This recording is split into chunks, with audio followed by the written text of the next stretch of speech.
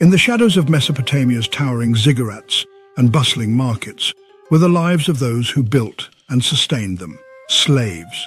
These individuals, bound in varying degrees of servitude, were crucial to the functioning of the world's first urban civilizations.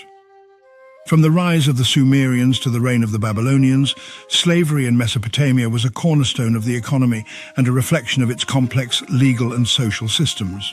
Slavery in Mesopotamia dates back to around 3000 BCE, emerging alongside the growth of cities and agriculture. Slaves were often captured in warfare, becoming the property of the state or wealthy individuals.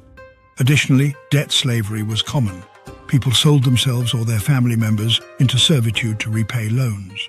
Unlike hereditary slavery, which would dominate in later societies, Mesopotamian slavery was sometimes temporary, with slaves able to earn freedom.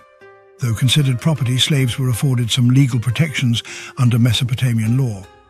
Hammurabi's code, circa 1754 BCE, included rules regarding slaves, ensuring some rights and limiting mistreatment.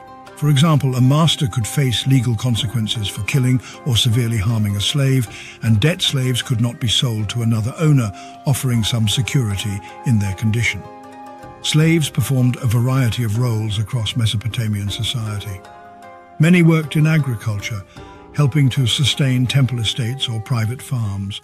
Others served as household servants, while some worked in workshops, producing textiles or goods. Religious institutions also owned slaves, with temple slaves often faring better than those in private hands due to the temple's responsibility for their well-being. While slavery was harsh, it was not always permanent.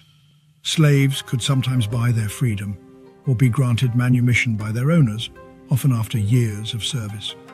Legal contracts document such instances, and some freed slaves rose to become traders or craftsmen, integrating into society. This mobility, though limited, was a unique feature of Mesopotamian slavery. Slavery in Mesopotamia was a diverse institution that played an essential role in the development of one of the earliest civilizations. Though it was often oppressive, slaves were protected by some laws, and pathways to freedom existed. This institution reflected the broader social dynamics of Mesopotamia, balancing inequality with limited opportunities for mobility.